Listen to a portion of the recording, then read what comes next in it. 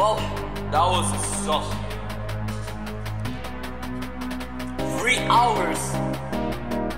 Three hours. Thanks for watching. So, like, don't try this at home because that's gross. Well, bye.